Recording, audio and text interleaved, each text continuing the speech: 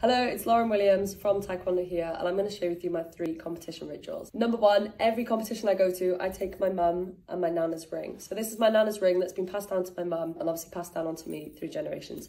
I take this ring side with me, it goes in a gum shield box, I give it to my coach, and he brings it with him every fight so that I know that my family are ringside watching. It's just my little sentimental thing that I enjoy. Another thing is on competition day, I have a Spotify playlist that goes untouched for the rest of the year. So when I play the playlist on competition day, all the songs hit like they used to. They have memories attached to them. They mean something to me and they just what gets me hyped on competition day. Everything about every song on that playlist just reminds me of comp day and puts me into that little competition zone. And my last one is definitely a football. I took a football away to the Olympic Games. I don't really know why I did it to be fair. I think it was just because I enjoyed football and I wanted to play. I used it as part of my warm up and started playing football uh, to get me going, kind of to get everyone relaxed around me. And it was amazing. It honestly game changing. Uh, put me into a little comfort zone, uh, made me feel content. It broke down all the barriers of you know pressure, all that kind of thing, and it just made me feel so at home, so happy, and you know comfortable in that competition environment. So since then, it comes with me everywhere. I love football, love playing it. Um, every time I get the football out to play and enjoy it, uh, it just brings me nothing but happiness. So.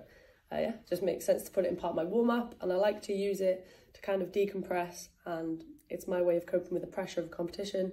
Brings me back down to just what really matters and that's enjoying it and doing my best. So that's my three main rituals on competition day. Drop down below and let me know what yours are.